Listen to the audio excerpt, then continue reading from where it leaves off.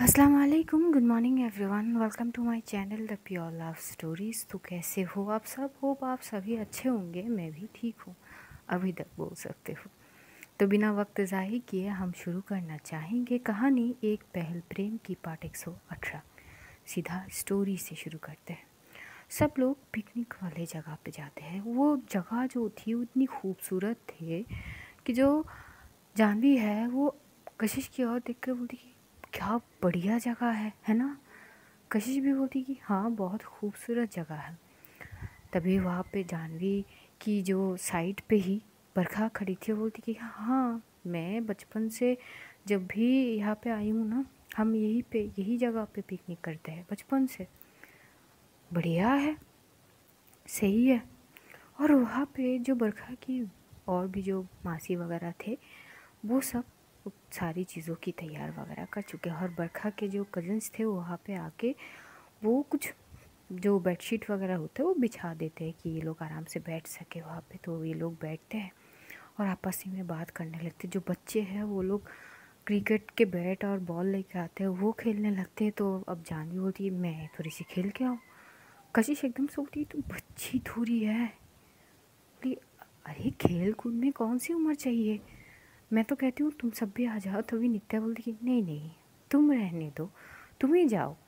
हम जाने की कोई ज़रूरत नहीं है। हम वो तुम्हारे आंटियों की मदद मतलब बरखा की आंटियों की मदद कर देते हैं। जान भी बोलती कि, नहीं मतलब कि क्या मतलब है आपका इस तरह से बोलने की? नित्या बोलती कि, देखो जान भी, झगड़ना है ना तो बरखा से झगड़ो ना। मुझे नहीं झगड़नी तुम्हारे साथ। तभी एकदम से कशिश, हंसती है, बोलती, बस भी करे ना आप। तो जानवी एकदम से कशिश की ओर देख के बोलती कि, समझा दे इनको। पता नहीं मतलब मुझसे क्या दिक्कत है आपकी? नीता बोलती, दिक्कत ही दिक्कत है जानवी। खूब तुम समझ जाओ। तो जानवी बस चिड़ के जाने लगती है बच्चों के साथ, वो क्रिकेट वगैरह खेल रहे थे तो जो बरखा के दो कजिन्स ब्रदर थे, वो भी आते हैं और ये सारे अलग मस्ती मज़ाक में थे। बरखा बैठी हुई थी और कहीं ना कहीं बरखा को जानवी की यही नेचर सबसे अच्छी लगती थी। वो मानो कि मग्न होके बस एक टक जानवी की ओर देख रही थी। जानवी कभी बॉल लेके भाग रही थी तो कभी बच्चों के पीछे कि मुझे भी बैठ करने दो। सारी चीज़ों में वो पना ना उसे बहुत अच्छी लगती है। इधर जो कशिश है वो बरखा के शोल्डर पे टैप करती है, बोलती कि, खो गई क्या? तो बरखा हंसती है, बोलती कि नहीं, मैं हूँ। नहीं मतलब जिस तरह से तुम उसे ताड़ रही हो ना, मुझे लग नहीं रही है कि तुम यहाँ पे मौजूद भी हो।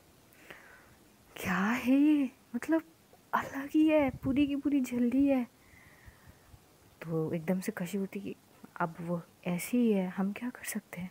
नहीं, करने की कोई ज़रूरत नहीं है, वो जैसी है, मैं उससे वैसी ही पसंद करती हूँ। बोलती हाँ यही तो तभी तो खो गई ना।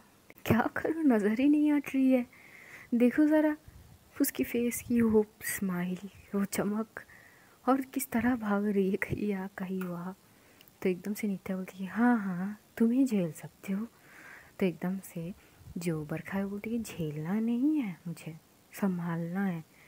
तो वहाँ पे नित्या और कशिश थोड़ी बहुत छेड़खानी तो करती है। बरखा की, कि बरखा के एकदम से एक मौसी से आवाज़ लगाती है कि, बरखा, मेरी मदद करो, यहाँ आओ। तो ये लोग जाते वहाँ पे मदद वगैरह कर रहे थे। और जानवी तो मस्त मलंग सब खेल कूद में वो बच्चों के साथ इंजॉय कर रहे थे कि तभी वो आवाज़ लगाती कि, कशिश, आना।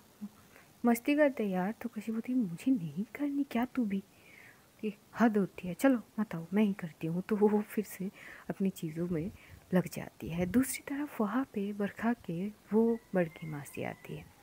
अब जैसे बरखा की बड़की मासी आते हैं बच्चों की खेल कूद बंद हो जाती है क्योंकि इतनी तो डरते हैं सब सबकी फटी पड़ जाती है अगर वो वो सामने हो तो, तो जैसे ही वो बंद मतलब सब मस्ती करना बंद कर देते हैं तो जानवी कुछ कर रही थी बोलती अरे रुके हुए तो एक बच्चा आता है बोलते कि वो दीदी, साइड में देखो वो मासी आ गई है।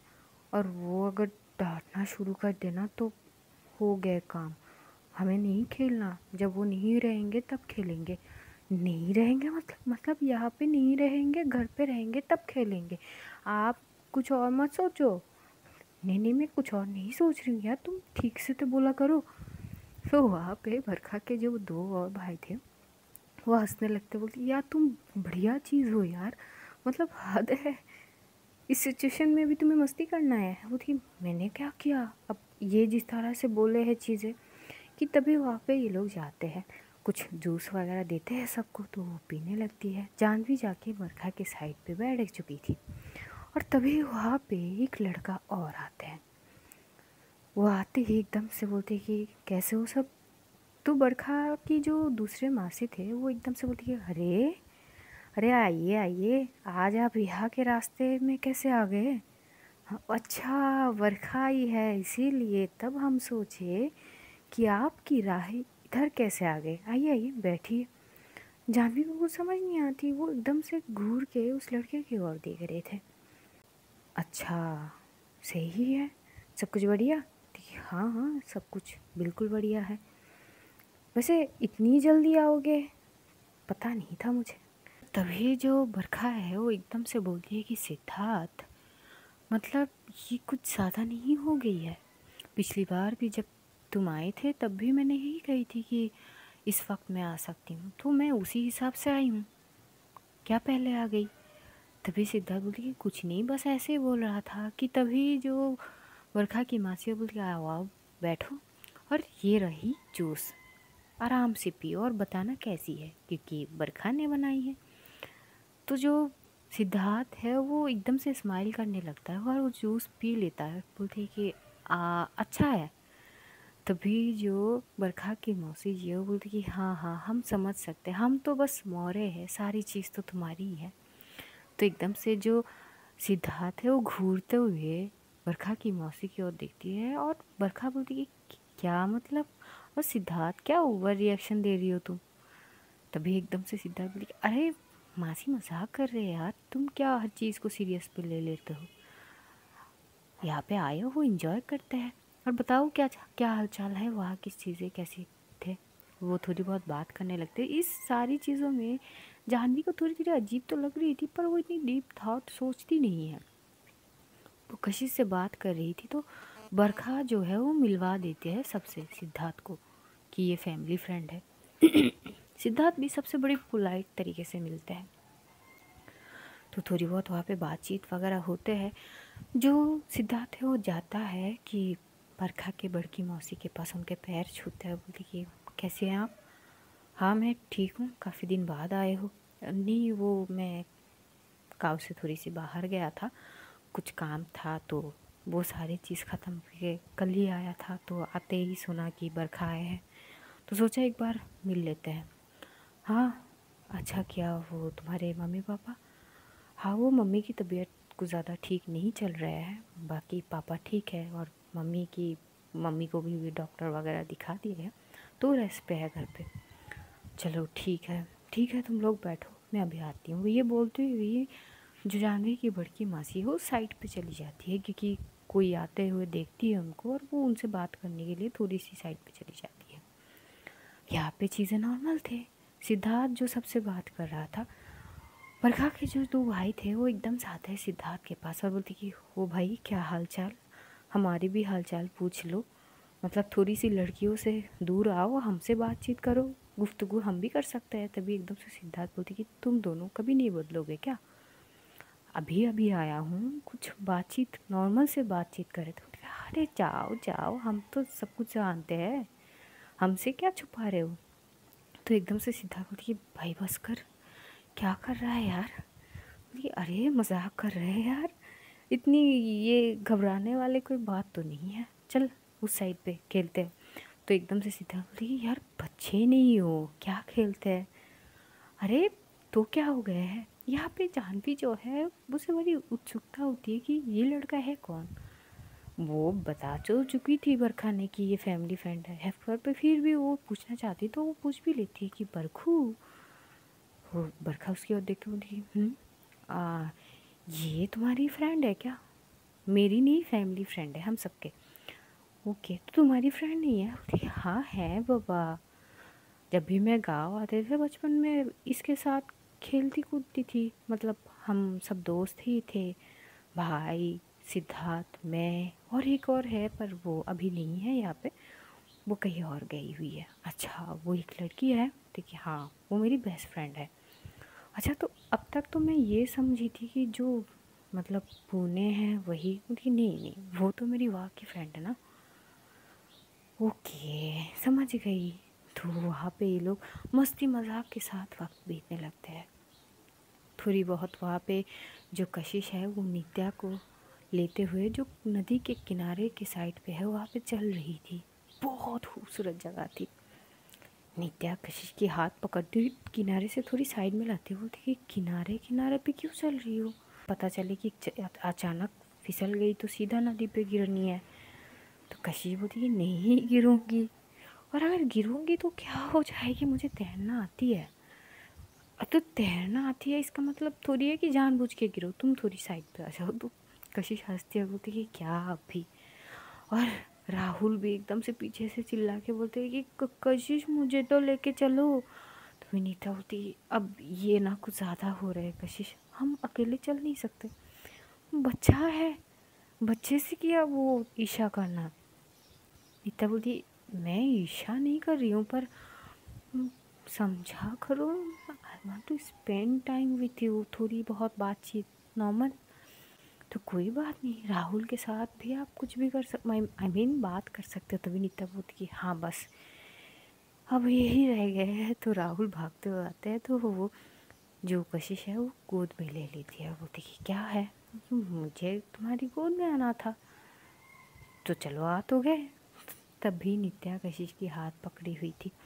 जानवी ये सब देख रही थी तो जानवी बरखा को बोलती बरखू। तभी बरखा बोलती क्या? है बोलती ना नदी के किनारे।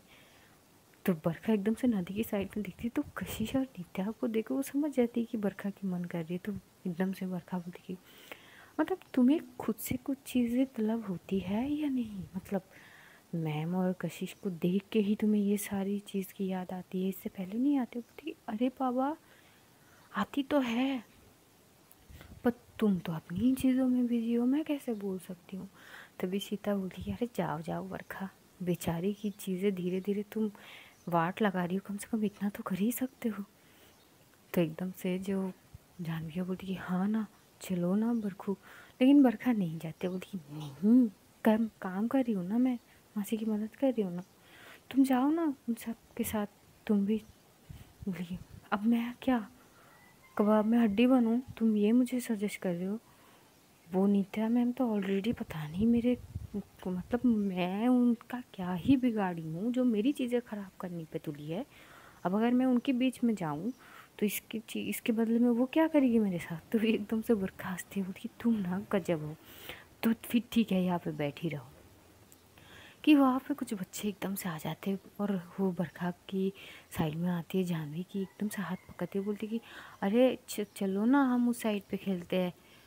तो जानवी बोलती, कहाँ खेलना है? बोलती, चलो ना तो वो भी उठ जाती है और वो जाते हैं बच्चों के साथ। तो वो भी एकदम से नदी के किनारे साइड पे होते हैं। वो लोग एक वॉलीबॉल लेके आए थे तो वो खेल रहे थे। हम बर, बरखा ने तो मना कर दी थी तो जानवी को कुछ ना कुछ तो करनी थी। अब चुपचाप वो बैठ थोड़ी ना सकती थी। और यहाँ पे जो बरखा के दो और कजिन्स ब्रदर थे, वो सिद्धार्थ से बात वगैरह कर रहे थे। और यहाँ पे जानवी और उन बच्चों का जो चीज़ें थी, वो बहुत अच्छे थे, मस्ती मज़ाक में। ये लोग बॉल फेंक रहे थे, पकड़ रहे थे, भाग रहे थे और इसी दौरान बॉल ना पानी में गिर गए थे। तो एकदम से जानवी बोलती, लो भाई, गए बॉल पानी में अब जाके ले आओ। तभी बच्चे बोलती कि मुझे तैरना नहीं आता। हैं? सच में? तो एक और बोलता है कि हाँ हमें तैरना नहीं तो सबको तैरना नहीं आता? ये कैसे मुमकिन है? तुम सच बोल रहे हो? तो बोलती कि हाँ ना, हम सच बोल रहे, हमें तैरना नहीं आता, आप जाके ले आओ ना बॉल। अब जानवी तो प्रॉब्लम में पड़ चुकी थी। ये कि एक ही को मतलब एक भी बच्चे को वहाँ पे तैरना नहीं आती थी। और बॉल जो थे, वो पानी की फ्लो में थोड़ी और दूरी में चले जाते हैं। जानवी बोलती ये सच में नहीं आते क्या? नहीं, अरे पर मेरे कपड़े ख़राब हो जाएँगे। बोलती कि तो क्या करे दिए? हम तो मतलब जा नहीं सकते ना। अब जानवी सोचती कि क्या मुसीबत है तो वो एकदम से कॉर्नर साइड पे जाती है। वो ऐसे ही बिना पानी में उतरे बॉल को लेने की कोशिश करती है, पर हो नहीं रही थी। कि तभी पीछे से आके एकदम से जानवी को धक्का देती है, एक बच्चा आके बोलती है, हम तो मज़ाक कर रहे थे दी आपको पानी में लाने के लिए। हमें अच्छे से तैरना आती है। तभी जानवी सीधा पानी में गिरती है। और वो एकदम से उठ के बोलती है ये, ये क्या है? अरे दी आप ही तो कह रहे थे ना कि चलो मस्ती मज़ाक करते तो हम तो मज़ाक ऐसे करते हैं। बोलो बोलो पानी में जाके कैसा फील हो रहा है? तभी एकदम से जानवी बोलती कि तुम लोगों को ना मैं छोड़ूँगी नहीं। दूसरे साइड पे कशिश और नित्या वहाँ पे चल रही थी कि तभी कशिश की नज़र जानवी की साइड पर आते हो कि इस, इसको अब पानी में क्या कर रही है ये? नित्या बोलती कि कौन? नित्या भी देखते हो, नित्या बोलती कि तुम्हारी ये बहन मतलब इसके इसके दिमाग नाम की कोई चीज़ है?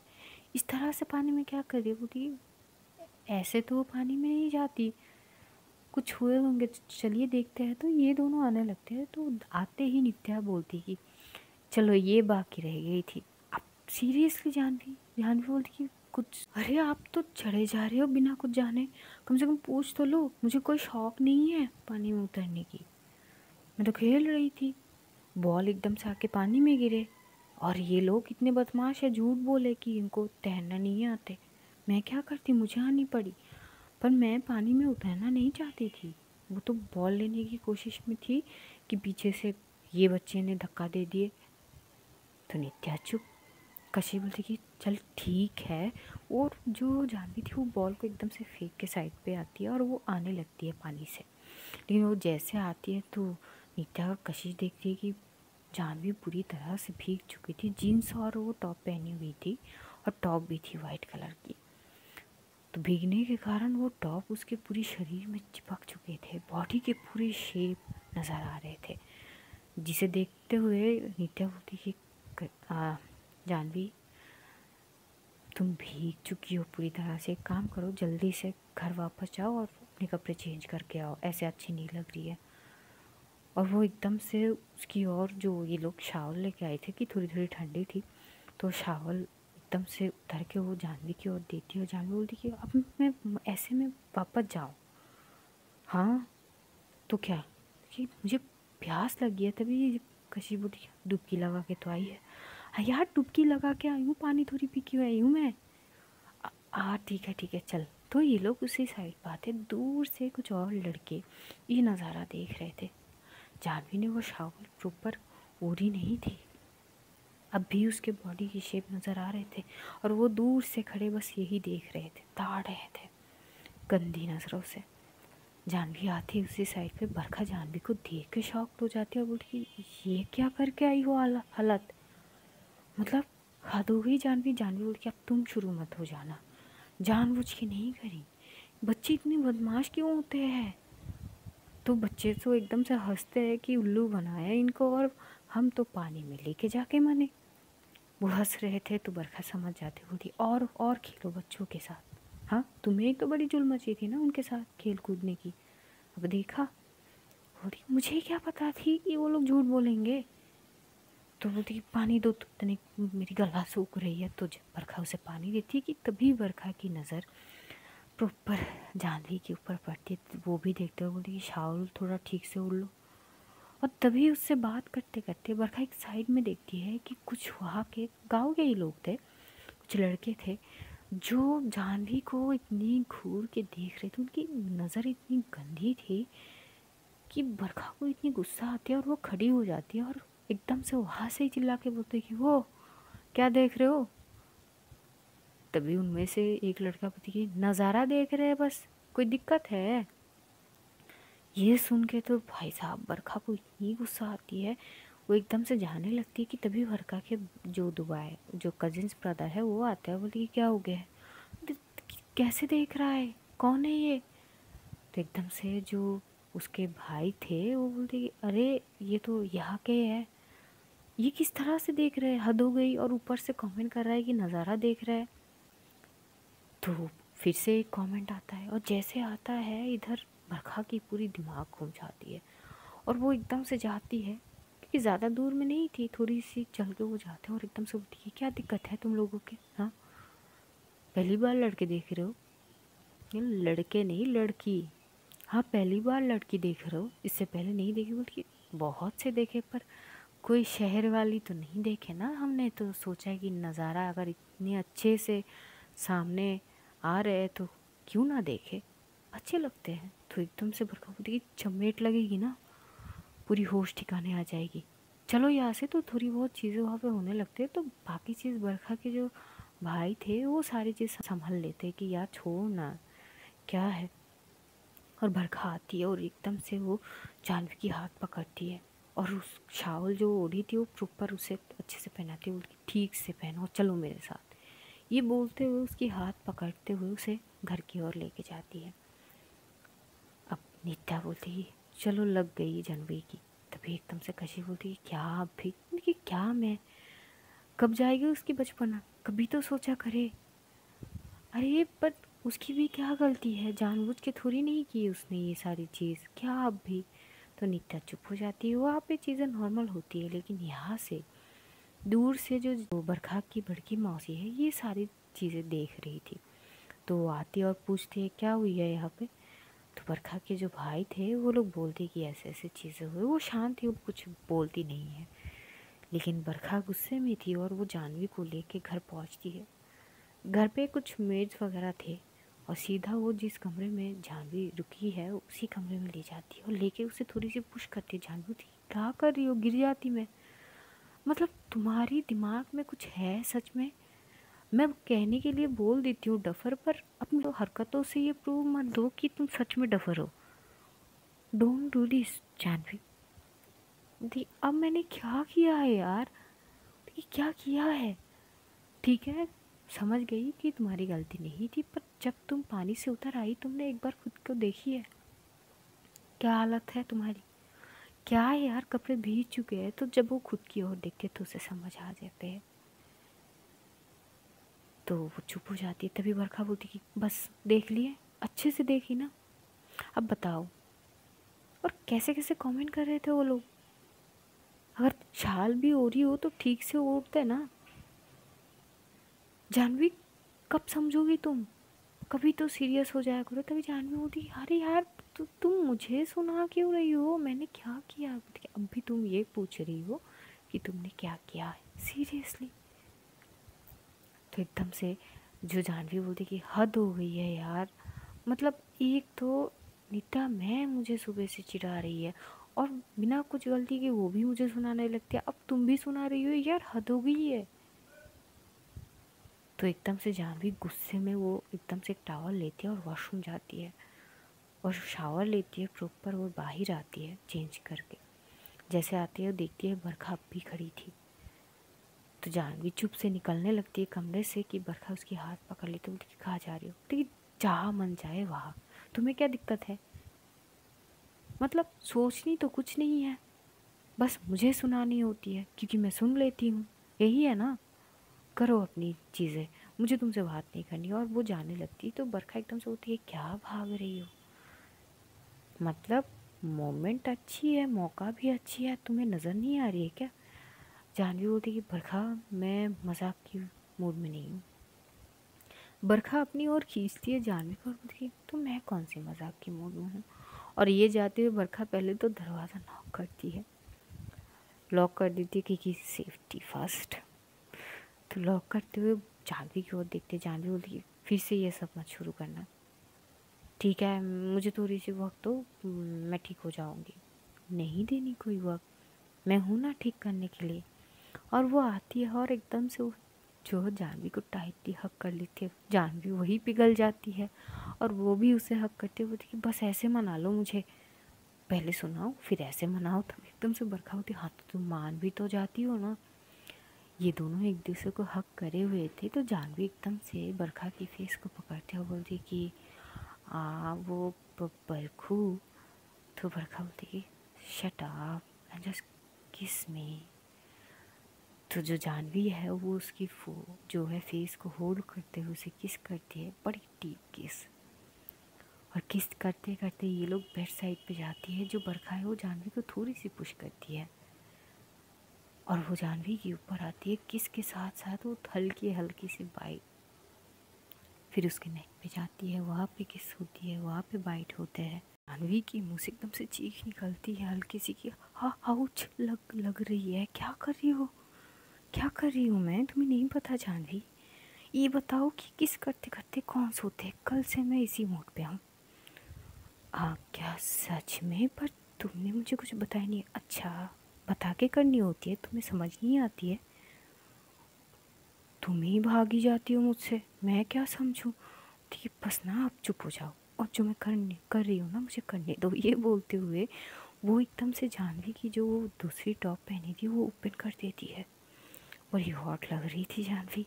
और वो सीधा उसकी नेक पे आती है, पहले अपनी टंग से थोड़ी सी लीक करती है और फिर हल्की सी बाइट जानवी एकदम से उसकी सर को ग्रैब कर लेती है, अपनी नेक साइड पे।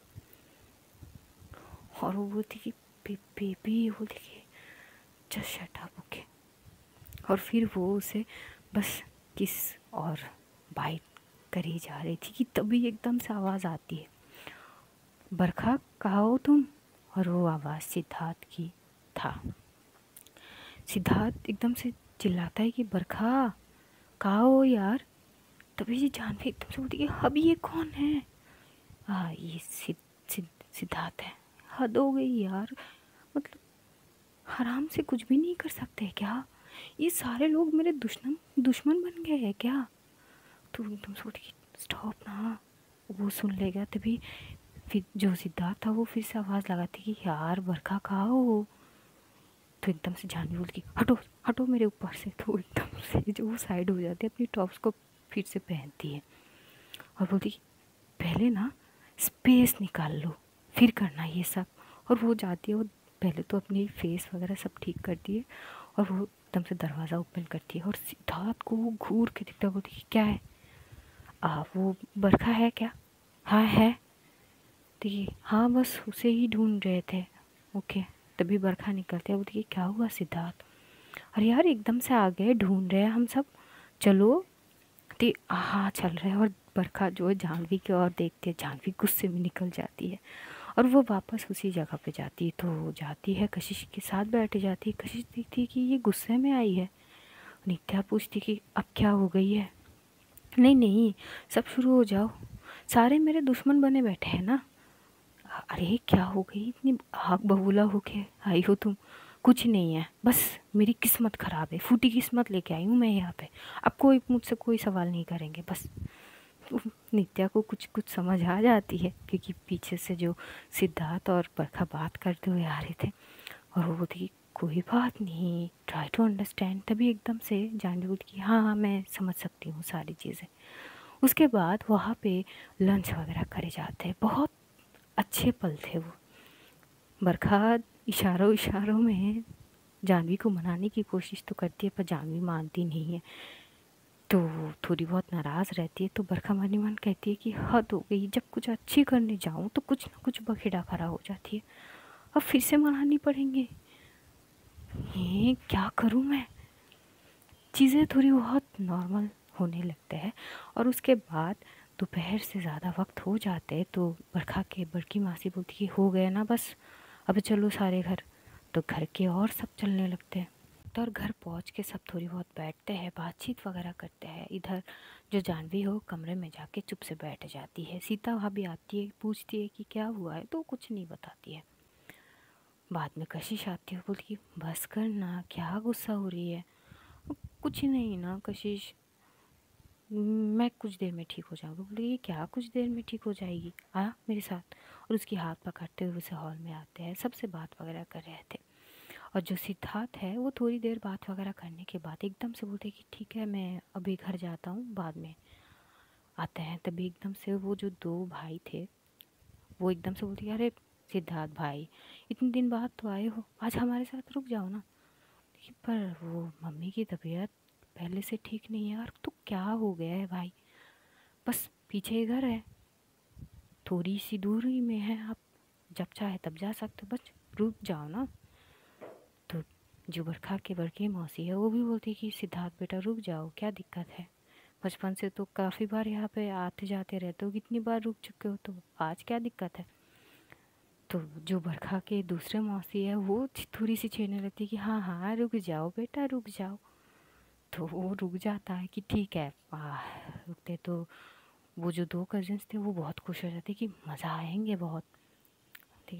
ऐसा क्या करने वाले हो? बोलते कि चलो आपको फुर्सत से बताते हैं, उसको लेके थोड़ी सी साइड में चले जाते ये तीनों आपस में बात करते हैं। बात करते करते न जाने जो बरखा के दो कजिन्स ब्रदर थे, वो जानवी की एक बार और एक बार घूर के देखते हैं। जानवी को बड़ी अजीब लगती कि ये लोग मुझे क्यों घूर के देख रहे हैं? और वो कशिश से भी होती कि ये लोग मुझे क्यों घूर के देख रहे हैं? मेरे बारे में बात हो रही है क्या? कशिश बोलती तो कुछ ज़्यादा ही सोच रही है, ऐसा कुछ नहीं है। अब देखते हैं कि आगे क्या होता है। तब तक ना ध्यान रखना, अपनों का ध्यान रखना। ढेर सारा प्यार बांटो, खुश रहो, खुशियाँ बांटो। Love you all guys you soon बहुत जल्द फिर से मिलेंगे। तब तक खुदा हाफिज़, tata. Goodbye and take care all tata.